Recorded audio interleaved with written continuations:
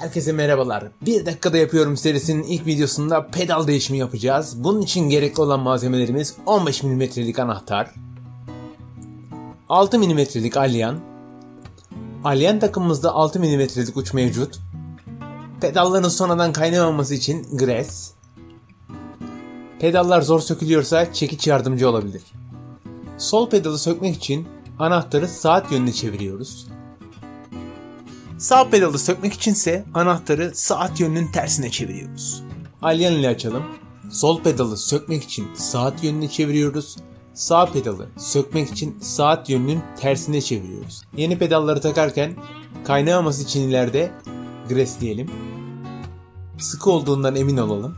Pedalları takarken sağ pedalı sağa, sol pedalı sola taktığınızdan emin olun Beğenmeyi unutmadığınız için teşekkür ederim. Başka bir videoda görüşürüz.